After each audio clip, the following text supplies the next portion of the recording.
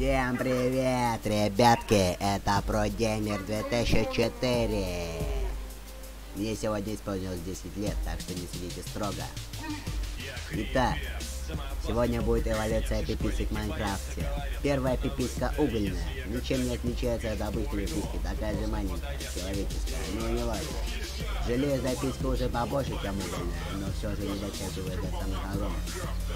Золотая пиписка намного больше, чем железная, но от нее хуже ощущений. Алмазная пиписька – самая лучшая пиписька из всех представленных пиписек, которые были до этого, но она еще не дотягивает до самой огромной пиписки. Перед нами гигант. Его зовут Дед Максим. 54 года. Я родился в Москве. Обладатель Дед Максим. Выделяет дохующий спермы.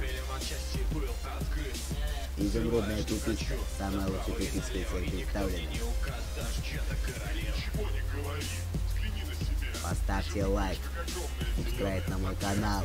Всем спасибо, всем пока. Это был ProGamer 2004.